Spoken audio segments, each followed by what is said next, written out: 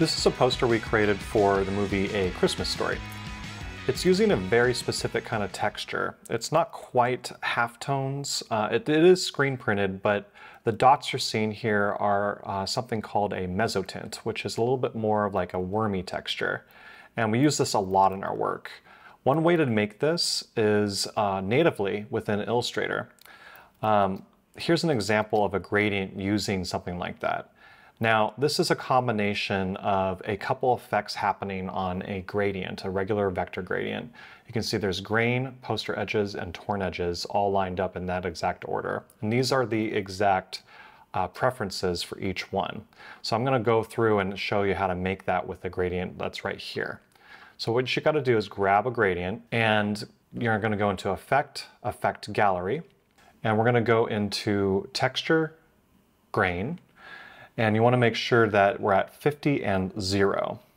Now that's going to give it kind of a grainy look, but we want this kind of chunky look, so the next two steps are going to get us there. So next we're going to go to Effect, and then go into Effect Gallery again, and we're going to go into Poster Edges. So Poster Edges is near the top, that is right here, and that is going to be 0, 1, and 6 we find that that's a pretty good ratio.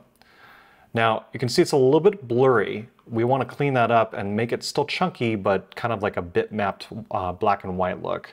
So the last step would be to add a torn edge.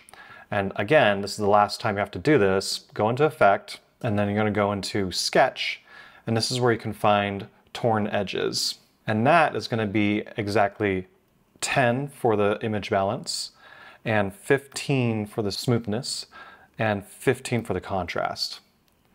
And what we get is exactly what we have right here. Now, what's kind of cool about this is you can select something like this and go into your graphic styles window and save it as a graphic style. So let's say that we create something like that and we make a whole new gradient, for example. Then we can go into our graphic styles and click it and it automatically turns into what we just created. Now you're probably asking how do you make this colorized? So this is a black and white image that is using those effects. You can actually place it over a color image or color uh, vector shape and then select both items and make a mask out of that by using the transparency panel.